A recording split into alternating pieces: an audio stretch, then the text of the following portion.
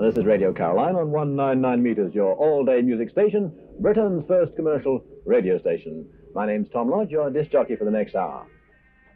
Illegal transmission? Illegal reception, certainly. Millions tune in, but few realize they can be fined up to £50 for listening. Now the stations themselves are threatened by the long arm of international law. This week, we've checked on how they're doing. In the Thames, Radio Invicta and Radio City. Off the East Coast, Radio London and Caroline South. Off the Isle of Man, Caroline North, close to the shore-based Manx Radio, Britain's only legal commercial station. The Carolines can each be heard over a 100-mile radius. They claim a peak audience of 39 million, a weekly income of 18,000 pounds. The European agreement to ban radio ships should be ready this month, but it could be June before the British Parliament ratifies any action against Caroline and her companions. Aboard Caroline South this week, life went on as usual.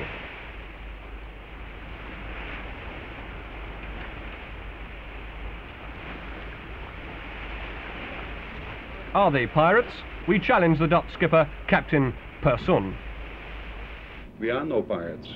We are lawful sailors and working all right. And I don't, I am not worried about an unlawful act from the countries in Europe and from Britain, because that will be unlawful as far as, far as I'm concerned. You look upon yourself as a, a legal sailor then? Yes, of course we are. We are working for a free enterprise in a free world. This free enterprise is run from the respectability of Mayfair.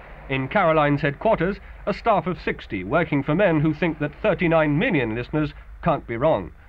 But couldn't they pull out now, satisfied with their profits? The answer from the man who first started Caroline, Ronan O'Rahilly.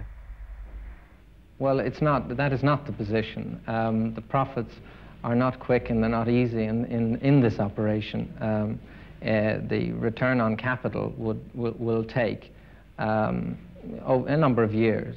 It's, it's a, a good investment, though, Radio Caroline. You've said that you're not going to take the Postmaster General's broadside without a fight.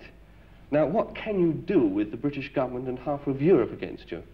Well, in fact, um, although the legislation will be open for signature in the Council of Europe, it is not certain that all members will sign. Um, uh, this, this means that if Britain and maybe one or two others sign it, there are still other European countries open to do business with, and many international companies many other countries, as you know, would be, would be available to do business. Can you think of some countries who may not sign it, who you'd go to support for? Well, I'd prefer not to. I prefer to wait and see.